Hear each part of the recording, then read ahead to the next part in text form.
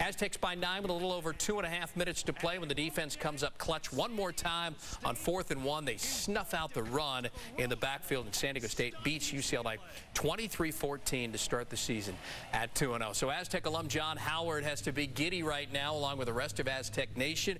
He joins us live at the Rose Bowl, and UCLA may have another poor season when it's all said and done, but at this point, John, who cares, right? This is huge. Yeah, absolutely. The start to the season now, 2-0. The Aztecs, five wins over Pac-12 teams in the last four years. So that's something to hang the hat on. And like you said earlier, this is the monkey off the bat game. 23 tries without a win until today. That put the players on a high after the game. It's big coming here because we never won. Uh, it's big because we won the next game against a big school that you know, is, is a top-notch program, and people watch them. So people were watching this game and could see the type of football team we had.